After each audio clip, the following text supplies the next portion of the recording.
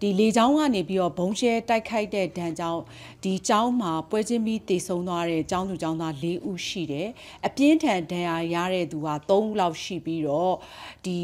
ဒဏ်ရာရတာပေါ့နော်ဒီဘုံကျဲတဲ့အတွက်ဘုံစံနေမှန်ပြီးတော့ဒဏ်ရာရတာဆိုလဲ90နီးပါးလောက်ရှိပါတယ်ဆိုတော့ဒါဟာကျမတို့အခု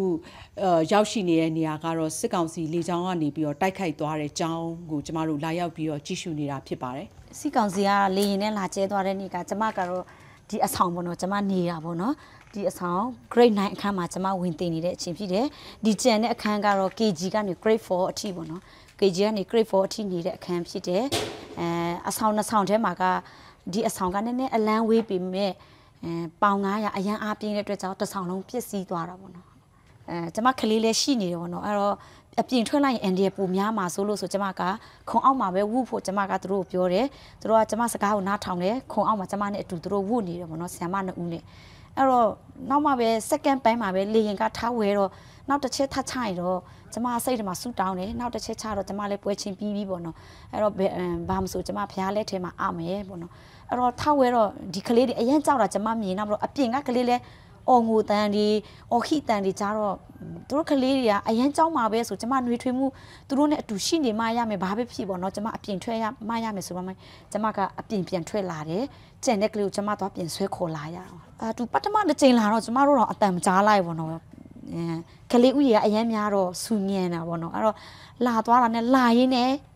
ချက်ချင်းချတယ်ပေါင်900နှလုံးပေါ့နော်ချတယ်ချပြီးတာနဲ့နောက်ထားဝဲသေးတယ်3 4ချိန်ထောက်ဝဲတယ် အဲ့တော့ထဝဲတော့ကျမကလေးတွေခေါ်ပြီးတော့မှဒီမြောင်းထဲမှာကျမကိုဆင်းခိုင်းလိုက်တော့မှာဟုတ်တယ်ဒီမကျဲခင်တပတ်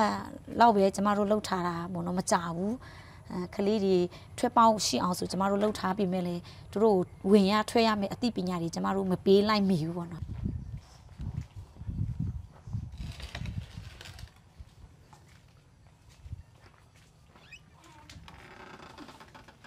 ဒါအခုကျမတို့မြင်နေရတာဆိုလို့ရှိရင်ဒါ ဒါမူဂျိုအဆောက်အုံဖြစ်ပါတယ်ဒါစစ်ကောင်စီပေါ့နော်လေချောင်းတိုက်ခိုက်မှုဒဏ်ကိုခံရတဲ့ဒါမူဂျိုကျောင်းအဆောက်အုံကိုကျမတို့မြင်တွေ့နေရတာပါဆိုတော့စစ်ကောင်စီဘုံကဒီကျောင်းကနေဆိုလို့ရှိရင်ပေါ့နော်10ခိုက်လောက် အကွာမှာဒီသူတို့ဘုံကျဲလိုက်တဲ့အချိန်မှာဒီဘုံစံတွေကနေဘလောက်ပြင်းအားရှိလဲဆိုတော့ဒီအဆောက်အုံကြီးတစ်ခုလုံးပြိုကျပျက်စီးသွားတာကိုကျမတို့တွေ့ရပါတယ်။ဒါပေမဲ့အဲ့ဒီနေရာတော့ကံကောင်းစွာနေပဲပေါ့နော်ကလေးတွေကအပြင်ရောက်နေတဲ့အတွက်ဒါဒါသူတို့အနေငယ်ထိခိုက်ဒဏ်ရာရသွားတာပါပေါ့နော်။တကယ်လို့ဒါဒီထဲမှာဒါကလေးတွေ မူဂျိုကလေးတွေဒါဒီအဆောက်အုံထဲမှာအဲ့ဒီဘုံကျဲတဲ့ချိန်ကရှိနေမယ်ဆိုလို့ရှိရင်ပေါ့အခုမြင်ရတဲ့အတိုင်းပဲအဆောက်အုံကြီးတစ်ခုလုံးပြိုကျပျက်စီးသွားရလောက်အောင်စစ်ကောင်စီကလေကြောင်းကနေပြီးတော့ဘုံကျဲတိုက်ခိုက်တဲ့ဟာဘလောက်ပြင်းထန်လဲဆိုတော့ကျမတို့ကိုယ်တိုင်တွေ့မြင်နေရတာဖြစ်ပါတယ်ကျမတို့အဲ့ဒီဖြစ်စဉ်ပြီးတခါမှအနီးကလာမကြည့်ဘူးပေါ့ကြည့်လည်းမကြည့်ရဲကိုခလေးလေးဒီမှာရှိနေတော့သူဒီအခန်းသာရှိရင်ဘလောက်ထိဖြစ်သွားမလဲတော့မမြင်အဲ့မမြင်အောင်ချင်မို့ပေါ့နော် ဒီအရာပြန်တွေ့ကျမအရင်ချစ်သိထားတာကျမတို့အခုဆိုရင်ကိုယ်တိုင်မျက်မြင်တွေ့ရတာပေါ့နော်ဒါစစ်ကောင်စီကနေပြီးတော့ဟိုလေချောင်းနဲ့ဟိုတိုက်ခိုက်သွားတဲ့စာတင်ကျောင်းတစ်ကျောင်းပေါ့နော်ဆိုတော့အဲ့ဒီနေ့ကလည်းဆီယမကိုယ်တိုင်ဒီကျောင်းရဲ့ဒီကျောင်းမှာလည်းရှိတယ်နောက်ပြီးတော့တာဝန်ရှိသူကျောင်းအုပ်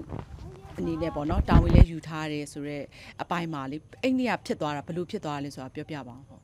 ဟုတ်ကဲ့အဲ့နေ့ကကျမတို့က အဲဆန်ဆန်မတွေအားလုံးက10ဦးရှိတယ်ပေါ့နော်အဲ့တော့ဒီမှာကအကုန်လာကြတယ်တယောက်ကပဲတင်တန်းတစ်ခုရှိလို့ဆိုသွားလိုက်တာပေါ့နော်အကျဉ်းတဲ့9ယောက်ကအခန်းထဲမှာကိုစီစာတိတ်နေတဲ့အချိန်ပြီးတော့မှမနေ့ပိုင်းဆိုအာယုံပြုတ်လို့ကောင်းနေတဲ့အချိန်မှာပေါ့နော်အဲစာတိတ်ရင်းနဲ့အဲ10နာရီထိုးတာနဲ့ကျမတို့ကတခြားအတန်းကိုချိန်ရမယ့်အချိန်မှာကျမကစာအုပ်ကောက်ပြီးသွားမယ်လို့တုံးမှာအဲတခြားဆရာနှစ်ဦးကရောက်လာပြီးမှစာမေးဆရာတစ်ခုရှိတယ်ပေါ့နော် အဲ့တော့မေးစရာတစ်ခုရှိတော့ကျမပြန်လဲလာတယ်ပေါ့နော်အဲ့နေရာကိုကျမပြန်လဲလာတော့အတန်တစ်ခုကြားလိုက်တလို့ပဲပေါ့နော်အော်ကျမထွက်ကြည့်မယ်လို့နေတော့မှအဲမန်ဆကကိုစီလာနေတယ်မျက်နှာကျဲတယ်လဲကိုကောင်းပေါ်ကျနေတော့အဲဘာဖြစ်တာလဲပေါ့နော်အဲ့တော့ကျမလေရင်တန်ကြားလိုက်တယ်ပေါ့နော်ကျဲနေပြီပေါ့နော်ကိုအတန်ကလေရင်တန်မှလည်းကိုမသေးကွဲတော့ဘူးကျဲနေပြီအဲ့နဲ့ကျမအခန်းထဲကရှိတဲ့ကလေးကိုဝူဝူပေါ့နော်အပြည့်မထွဲတော့နဲ့ပေါ့နော်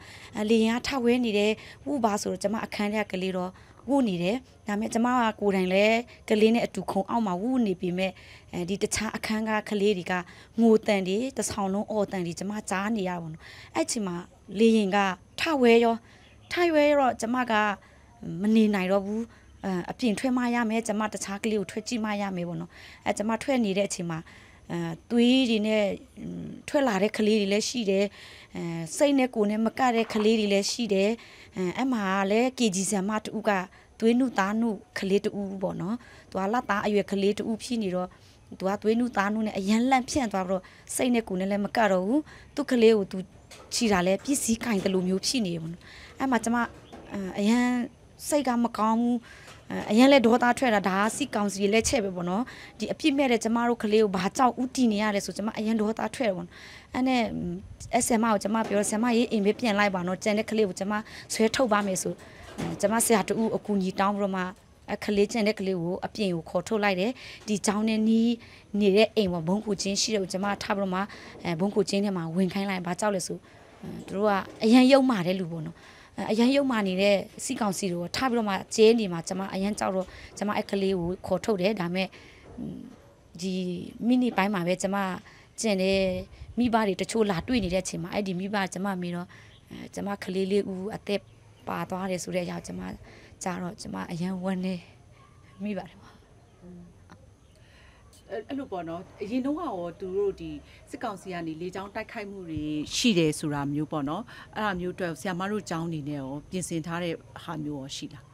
ဟုတ်ကဲ့နိုင်ငံရေးကဒီလိုဖြစ်တော့အဲသူတို့က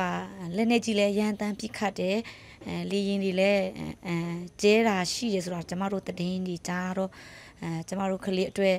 အဲဆက်သွယ်ရေးမြောင်းပုံစံတော့လှုပ်ထားရတော့ပေါ့နော်ဒါပေမဲ့မကြသေးဘူးကျမတို့လှုပ်ထားတဲ့တပတ်အတွင်းမှာပဲအဲသူတို့ကအဲလာကျဲသွားလိုက်တယ်ကျမတို့မှာပြင်ဆင်မှုမရလိုက်တော့ကလေးတွေအဲတခုလေးရင်လာရင်ဘလို့ပြေးရမလဲဆိုတော့အသိပညာလဲကျမတို့မပေးလိုက်မိဘူးပေါ့နော်ဘာဖြစ်လို့ဆိုအချိန်ကအရန်တိုးသွားတယ်ဖြစ်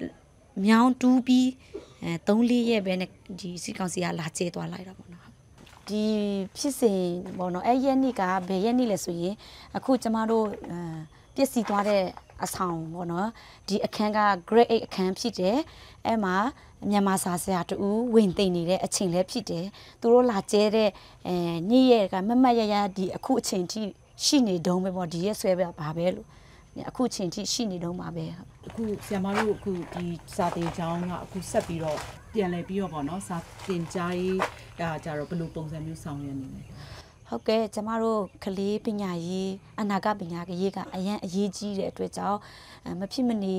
အဲပြန်ပြီးတော့မှနေရာပြန်စီစဉ်ဖို့လိုတယ်ဆိုတော့မှအဲကျမတို့ကျောင်းဆရာဆရာမနဲ့အဲကျောင်းကော်မတီတွေကျောင်းသားမိမတွေပြန်အစည်းအဝေးထိုင်တယ်အဲ့တော့ဘယ်လိုနီးနဲ့ပြန်သုံးသားလဲဆိုပြန်သိနိုင်အောင်တနေရတယ်မမသိနိုင်တော့ဘူးပေါ့နော်တနေရတယ်စုသိမယ်ဆိုလဲအစီမပြေတော့တဲ့အတွက်ကြောင့် တချို့အခန်းတွေကလည်းအိမ်မှာတင်တယ်အခန်းရှိတယ်ပြီးတော့မှအဆောင်နှစ်နေရာပေါ့နော်လေးခန်းလောက်တင်လို့ရတဲ့နေရာနှစ်နေရာကျမတို့စီစဉ်ထားတာပေါ့နော်အခန်းပေါင်းက grade 9အထိဆိုရင်အခန်းပေါင်း10ခန်းရှိပေမဲ့ကျောင်းသားဥယျာဉ်ဒီနေ့အရန်များလာတယ်ထပ်တိုးလာတဲ့အတွက်ကြောင့်ကျောင်းသားဥယျာဉ်250ရှိလာတဲ့အတွက်ကြောင့်အခန်းက12ခန်းပြင်ဖြည့်သွားတာပေါ့နော်အဆက်ထန်ခန်းထဲမှာကျမတို့အခန်းနေရာ9နေရာပြင်စီစဉ်ရပါတယ်ဟုတ် အခုဟိုပြီးခဲ့တဲ့ရက်ပိုင်းတွင်းရောက်ဆိုလို့ရှိရင်ဒီဘန်ကောက်စစ်ပေးဆောင်ဒုက္ခသည်စခန်းကိုကျဲသွားတာလို့ပေါ့နော်အထူးသဖြင့်အဲ့စခန်းမှာဆိုလို့ရှိရင်ဟိုကလေးအများစုတည်ဆုံးသွားတာပေါ့နော်ဆိုတော့ဒီကီနီပြည်နယ်မှာဆီယမကိုရန်ကလည်းအခုဟိုလေချောင်းတိုက်ခိုက်မှုကိုကြုံတွေ့ခဲ့ရတော့လေဒီအခုစစ်ကောင်စီရဲ့လေချောင်းတိုက်ခိုက်မှုကဘယ်လောက်ထိစိုးနေလဲအဲ့တော့နိုင်ငံတကာအတိုင်းဝိုင်းကအခုလိုဒီစစ်ကောင်စီကရက်သားပြည်သူတွေအခုဆိုရင်ဒီစာတင်ကျောင်းတွေကို ဟိုစစ်ကောင်စီတိုက်ခိုက်နေပေါ်ပေါ်ပေါ့နော်နိုင်ငံတကာကနေတုံ့ပြန်ဆောင်ရွက်နေတာကိုဘယ်လိုမြင်လဲကုလသမဂ္ဂပါဝင်ပေါ့နော်အားရလားအားမရဘူးလားဘယ်လိုမြင်လဲရှင်ဟုတ်ကဲ့ကျမတယောက်အနေနဲ့အာမရသေးဘူးလို့ပြောရမှာအာဘာဖြစ်လဲဆိုဒီသူတို့ကအဲမြေစီမြေပြင်မဟုတ်နဲ့စစ်လေပြင်ကိုတုံးနေတော့ကျမတို့ကဘာမှလည်းမတနိုင်ဘူးဖြစ်နိုင်ရင်ဒီလေရင်စီကိုပိတ်ပိန်နိုင်ရင်တော့ကျမအတွက်ပိုလုံခြုံမယ်လို့ကျမယုံကြည်မိတယ်အဲ့တော့နိုင်ငံတကာကဒီအဲ လေရင်စီကိုအမြန်ဆုံးပိတ်ပိန်ဖို့ကျမအနေနဲ့အဲတောင်းဆိုချင်တယ်အဲ့ဒါပိတ်ပိန်နိုင်တော့ကျမနည်းနည်းပိုအားရမိမယ်လို့ယုံကြည်မိပါတယ်